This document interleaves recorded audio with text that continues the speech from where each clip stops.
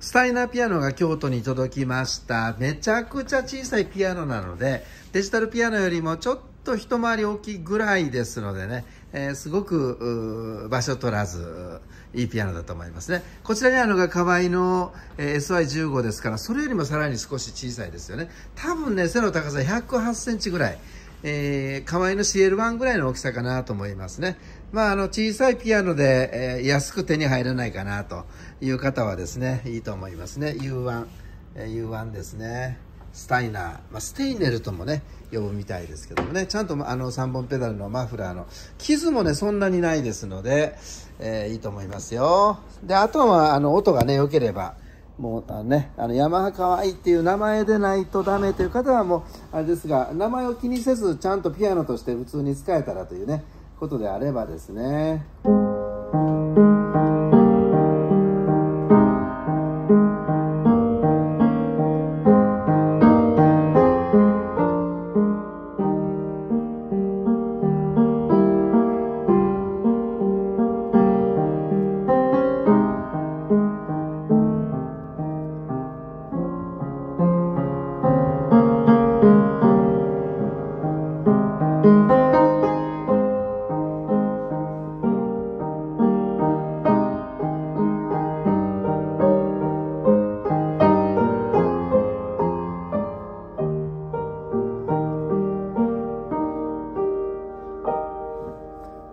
の小さいので音量は小さいです。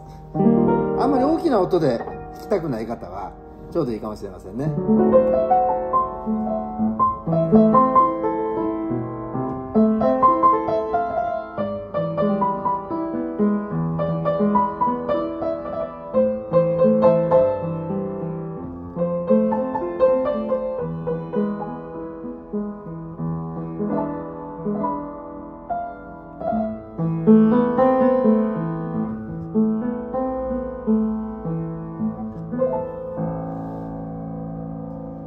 スカルとは違って88件の生のピアノですからね。